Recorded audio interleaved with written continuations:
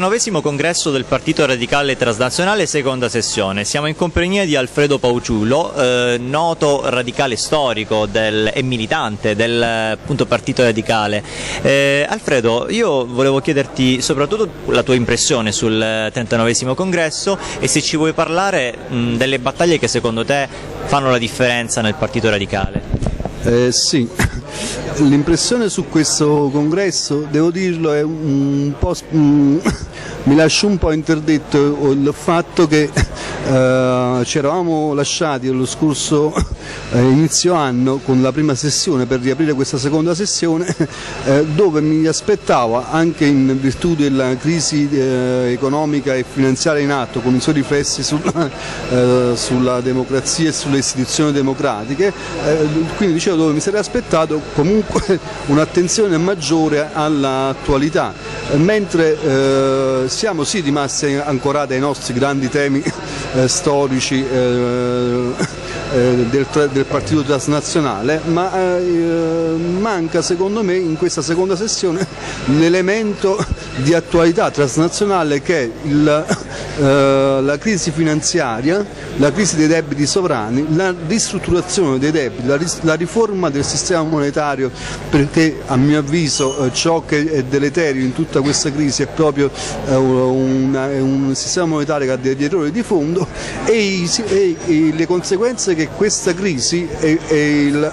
sistema monetario sottostante ad essa comporta in quanto a deficit di democrazia e di libertà. Tant'è che oggi Marco Pannella eh, parlava di, di, ormai di democrazia reale, così come c'è stato in passato il socialismo reale, per dire che le nostre democrazie non sono compiute. Correttissima quell'analisi, la condivido appieno. Eh, andava secondo me però prevista una, una, una commissione eh, che analizzasse proprio l'aspetto dell'economia, della crisi, della finanza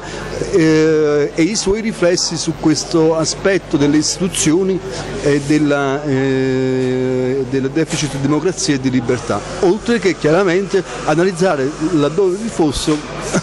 le, le, ehm, le connivenze che ci sono tra politica e finanza e quindi laddove eh, l'una è funzionale all'altra e, e, questo eh, comporta la produzione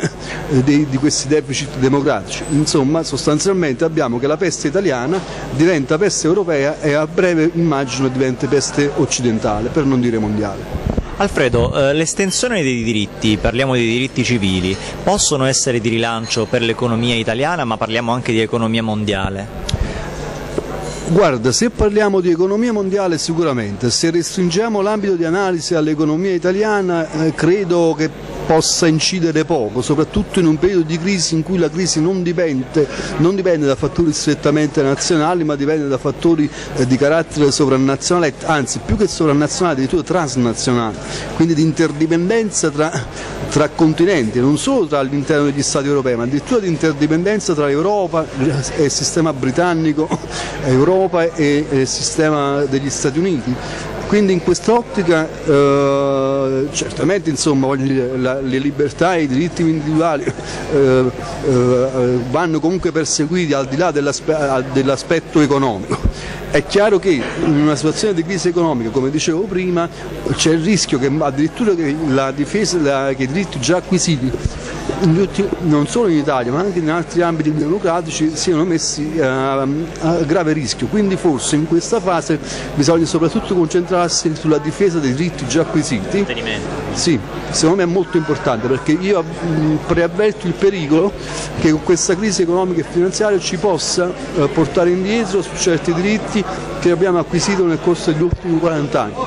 Che la libertà di parola ad esempio? Anche, io ho preoccupazione anche di questo quantomeno che ci possono essere, già oggi ci sono delle forme di autocensura, quantomeno, quindi non c'è, sicuramente una censura, ma magari delle forme di, autocensura per evitare di, di, provocare magari incidenti diplomatici eh, tra gli stati in crisi tra di loro e per evitare altre cose. Allo stesso tempo osservo che sui mercati finanziari ci sono delle mobilità di capitali con operazioni fatte al limite del legale, in certi casi fosse anche eh, con dei risvolti penali, però fatte poiché fatte al di fuori dall'Italia difficilmente perseguibili e che eh, limitano, eh, hanno incidenze sull'economia delle, dei singoli stati e di conseguenza si ripercuotono poi eh, sulle, uh, su, ripercuotendosi sull'economia dei singoli stati di fatto vanno a, a ledere i diritti degli individui e le libertà individuali. Alfredo, io volevo chiederti una cosa, visto che siamo comunque nella sede mh, mm, eh, del Partito Radicale e che è transnazionale, indipendentemente dal fatto se in Italia ehm, alcuni diritti vadano difesi o meno, pensi che sia eh, una battaglia che non tramonterà mai quella dell'antiproibizionismo, intesa non solo come ehm, antiproibizionismo delle droghe, ma come antiproibizionismo per temi etici come il fine vita, eh, parliamo dei diritti civili delle coppie omosessuali, ma parliamo anche anche eh, eh, di fine vita, cioè di mh, situazioni come la prostituzione che andrebbe levata dalla mala vita in sé e eh, normata. Sì, io in genere ho non solo sui, su questo tipo di diritti che noi riconosciamo da, eh, storicamente come battaglie nostre, eh, non, non, solo su questo ho un atteggiamento antiproibizionista, ma anzi eh, per me ci sono molti altri ambiti che andrebbero, eh, andrebbero insomma, quantomeno liberalizzati o quantomeno legalizzati eh, o normati in maniera meno rigida. E addirittura io io andrei, una delle cose su quali, sulle quali interverrei addirittura è dare una, eh, un sistema, creare un sistema monetario che dia la possibilità di monete in concorrenza piuttosto che avere dei sistemi monetari in regime di monopolio. Perché come e qua poi Già questo, eh, avere dei regimi in concorrenza, non il monopolio, comporta che hai a mio avviso più controllo sul sistema finanziario, non il contrario, ed è più difficile, magari sì, si hanno crisi più frequenti ma di minore entità, ma non hai qui crisi incontrollate e globali come eh, queste, anche perché la funzione di scambio economico in realtà è una funzione naturale, è umana, non si capisce perché ci deve essere qualcuno che debba in qualche modo assumere il monopolio di questa funzione, così come a mio avviso non ci deve essere essere chi assume il monopolio etico o legislativo sul rapporto che c'è eh, tra un uomo e una donna, tra un uomo e un uomo, una donna e una donna, insomma comunque sia. Mm, è una libertà, cioè ognuno deve nella propria autocoscienza, nella propria consapevolezza, nel, nel proprio manifestarsi regolare con l'altro la propria relazione.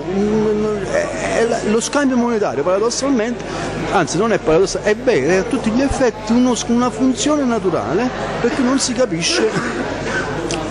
questa, questa invadenza, questo intervento tale se non nella funzione del proibizionismo per controllare e per avere un potere, così come avviene con i diritti del, eh, del, dei degli eterosessuali, dei diritti degli omosessuali, dei, eh, dei diritti delle persone anche diversamente abili. Diversamente abili, ma io ti dico anche degli asessuali, si parla pochissimo, è un fenomeno che comunque c'è. Ehm, e,